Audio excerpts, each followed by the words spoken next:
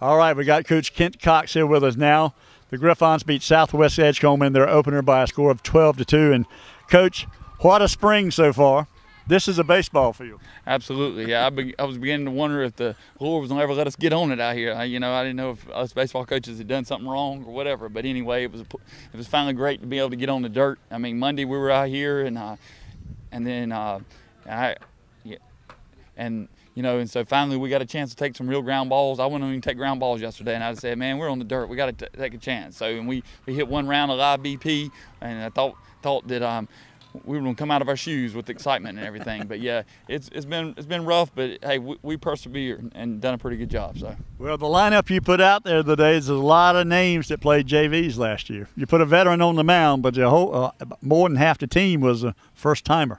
Yeah, they, they were, and we got we got a good nucleus of kids, and we got some good, um, you know, good seniors with with opportunities as well, and and you know, and so that's it's nice to know that you can put a crowd out there like that today and not miss a beat, and so that's what we're, we're looking for. I'm always preaching to them, you're one play away from being a being a starter, so you know, take advantage of opportunities when you get them. Now, obviously, uh, Blake Helms played uh, pretty good on the mound today, going four innings, giving up one hit, and only walked a couple of batters.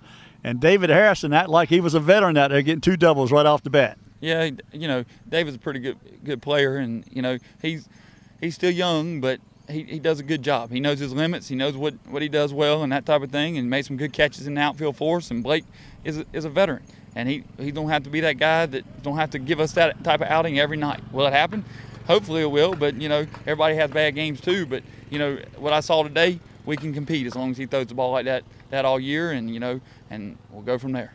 Well, obviously you've lost a couple to three games already because of the weather, and are you going to be able to catch any of them up? But the biggest problem is when you get to conference play, you don't want to play three anymore, wasting your pitching arms. No, you know, in the uh, North Carolina High School Athletic Association kind of messes up by taking those games out of February. And uh, so you, you kind of forced to play three games a week and not having those, missing those three um, I don't really want to make them up, but I know that they'll probably Coach Vincent from Rose will probably give us a call wanting to try and play. They'll play four games a week, and you know he's got more arms to be able to do that than I do. But uh, I'm gonna try and avoid making any of those games up if I can, and we'll just play play out the rest of the season the way we got it. Okay, congratulations, Coach Kent Cox. A great start to the season. A five inning, ten run win Thanks. for the Griffons. Thank you so much.